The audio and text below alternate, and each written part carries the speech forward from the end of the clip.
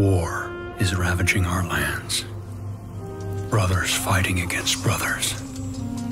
I need to stop this madness. But I cannot do it alone.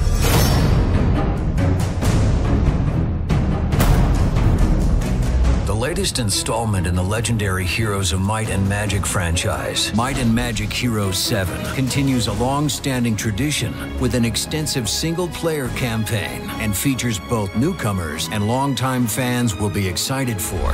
We start our story 10 years into a civil war, sparked by the murder of the Holy Empress.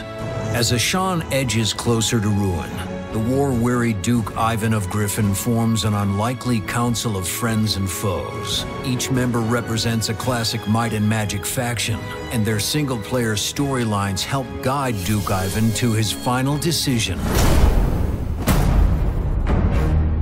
Understanding the unique abilities of each faction is key to victory.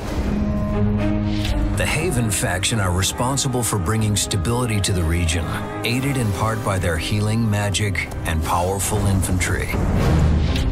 The savage fighters and blood magic shamans of the Stronghold faction are devastating against their more civilized foes. Academy wizards are masters of using powerful arcane and elemental magic in battle. The necromancers of Eterna manipulate dark magic to bend evil forces to their will.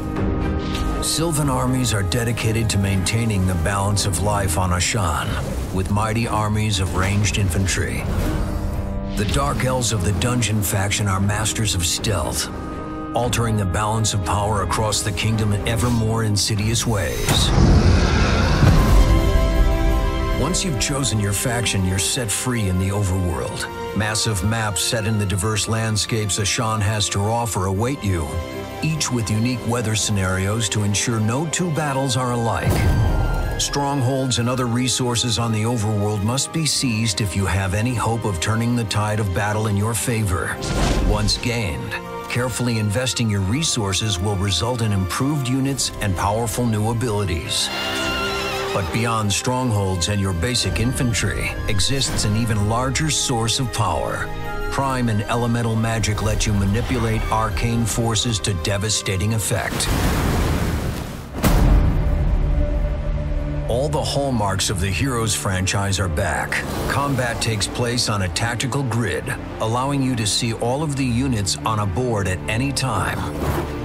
Now you can also flank enemies from all sides, limiting their mobility and giving your units a huge buff to their attacks.